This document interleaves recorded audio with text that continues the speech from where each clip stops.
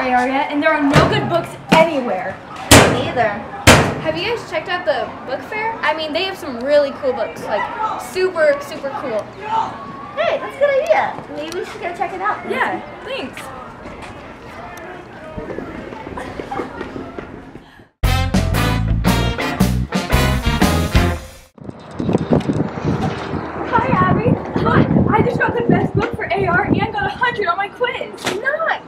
But wait, where's Audrey?